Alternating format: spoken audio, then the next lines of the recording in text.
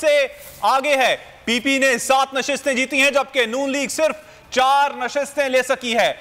और आपको बताएँ कि कामयाब आज़ाद उम्मीदवारों की तादाद चार है। आज़ाद कश्मीर की अपोजिशन जमातों ने मुख्तलिफ़ पोलिंग स्टेशन पर धांधली शुरू कर दी। इसी हवाले से मजीद तफसीत मालूम कर लेते हैं बोलिए उसके नुमाइंदे बशारत मोगल से। बशारत, जो नतज है, गैर हतमी, गैर सरकारी नतज की सूरत हाल क्या है?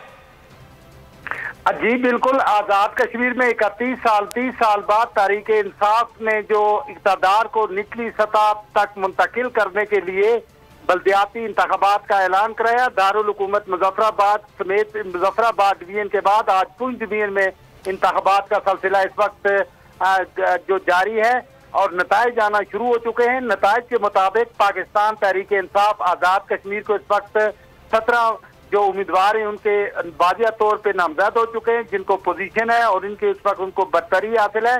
जबकि दूसरी जानब मैं आपको बताता चलूँ कि वजी अजम आज़ाद कश्मीर सरदार तनवीर अलियास का जो हल्का इंतहाब है, उसमें से भी इस वक्त कौंसल बंगोई है डिंगाला से पीटीआई के डिस्ट्रिक्ट काउंसिल के जो दोनों उम्मीदवार है, वो भी विन कर चुके हैं। और इसके अलावा रावला कोट अगर म्यूनसिपल कॉरपोरेशन की बात की जाए, वहाँ से भी उनका पल्ला बाहरी जा रहा है।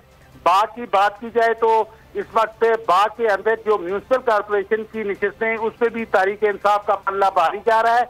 और मैं आपको साथ ये भी बताता चलूँ कि इस वक्त रावला पीटीआई लीडिंग पोजिशन